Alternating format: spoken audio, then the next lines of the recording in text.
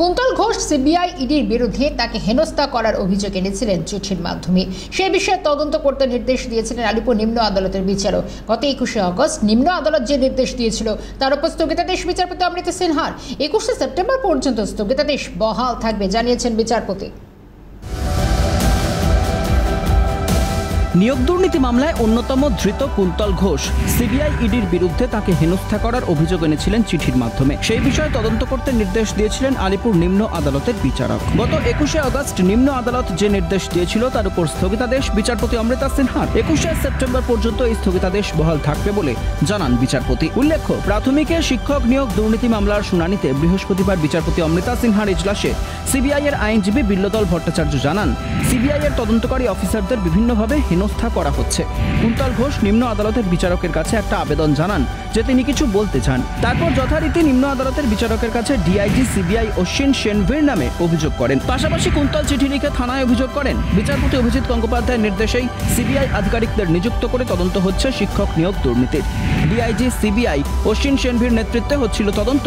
কিন্তু সেই নির্দেশ সম্পূর্ণ অবজ্ঞা করা হয়েছে। সিবিআই অফিসারদের একাধিকবার বিভিন্ন অছিলায় ডেকে হেনস্থা করছে রাজ্যের পুলিশ। কুন্তল ঘোষ অভিযোগ করেন, তার গোপনাঙ্গে আঘাত করা হয়েছে এবং অভিষেক বন্দ্যোপাধ্যায় তার কাছ থেকে কোনো টাকা নিয়েছেন কিনা তা জানতে চাওয়া হয়েছে। সম্পূর্ণ বোধ গম্যহীন মিথ্যা অভিযোগ।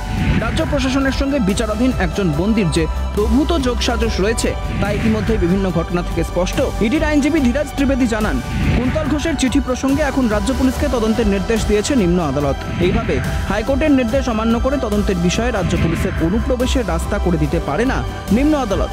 এই ধরনের নির্দেশকে অবিলম্বে খারিজ করা উচিত। নিম্ন আদালত বিভিন্ন সময় এমন কিছু নির্দেশ দিয়েছে, যার জন্য ইডি আধিকারিকদের হেনস্থার সম্মুখীন হতে হচ্ছে। চাকরি প্রার্থীদের আইনজীবী বিকাশ রঞ্জন ভট্টাচার্য জানান, এই ধরনের পাবলিক স্ক্যামের তদন্তে নিম্ন আদালত হস্তক্ষেপ করতে পারে না। হাইকোর্টের প্রভূত ক্ষমতা রয়েছে, অবিলম্বে এই ধরনের নির্দেশ খারিজ করে দেওয়ার। বিচারপতি অভিজিৎ গঙ্গোপাধ্যায় প্রথমে নির্দেশ দিয়েছিলেন তারপরে মহামান্য বিচারপতি অমৃতা সিনহা তিনি নির্দেশ দিয়েছেন। সেই নির্দেশ আপ টু সুপ্রিম কোর্ট পর্যন্ত গিয়ে অ্যাফার্ম হয়ে আসছে। তারপরে সেই নির্দেশের উপর ভিত্তি করে তদন্ত চলছে।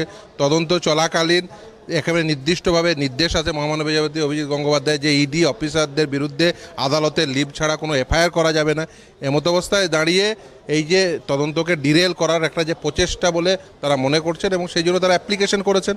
সেই অ্যাপ্লিকেশনের সাপেক্ষে আজকে মহামান্য বিচারপতি অমৃতা সিনহা তিনি নির্দেশও দিয়েছেন যে এই তেইশে আগস্ট স্পেশাল কোর্টের যে নির্দেশ এবং ফার্স্ট সেপ্টেম্বর স্পেশাল কোর্টের যে নির্দেশ, এই উভয় নির্দেশে স্থগিতাদেশ থাকবে বিচারপতি জানান, আগামী বৃহস্পতিবার পরবর্তী শুনানি। তার মধ্যে কেন্দ্রীয় তদন্তকারীদের কোনো রকমভাবে হেনস্থা করা যাবে না বলে মৌখিকভাবে জানান বিচারপতি অমৃতা সিনহা। পাশাপাশি কুন্তলের চিঠি সংক্রান্ত ব্যাপারে কলকাতা হাইকোর্টের নির্দেশ রয়েছে। নিম্ন আদালতের সমস্ত রায়ের ওপর স্থগিতাদেশ। অর্থাৎ কুন্তলের চিঠি সংক্রান্ত ব্যাপারে যে কলকাতা পুলিশের তদন্তের যে নির্দেশ নির্দেশনামা, সেই নির্দেশনামার ওপর আপাতত স্থগিতাদেশ দিলেন বিচারপতি অমৃতা সিনহা এবার এটাই দেখার বিষয় যে পরবর্তী শুনানিতে ইডি কোন রিপোর্ট জমা দেয় এবং তাতে আদতে খুশি হয় কিনা কলকাতা হাইকোর্ট। এবং সব মিলিয়েই বলা যায়, এই তদন্ত অর্থাৎ শিক্ষক নিয়োগ দুর্নীতি তদন্তে ইডি যে অগ্রাধিকার নিচ্ছে বা এগিয়ে যাচ্ছে তদন্তে বা নতুন তথ্য তুলে ধরতে চলেছে এ কথা বলাই বাহুল্য। ক্যামেরায় সঞ্জীব চক্রবর্তীর সাথে অভিরূপা হাজরা ক্যালকাটা নিউজ।